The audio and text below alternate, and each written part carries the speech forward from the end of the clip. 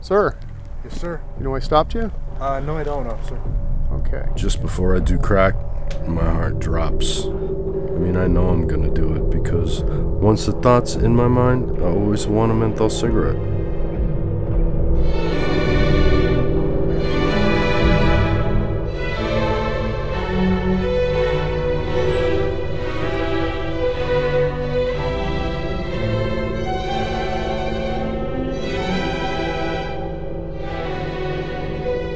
It's the start of another personal therapy session.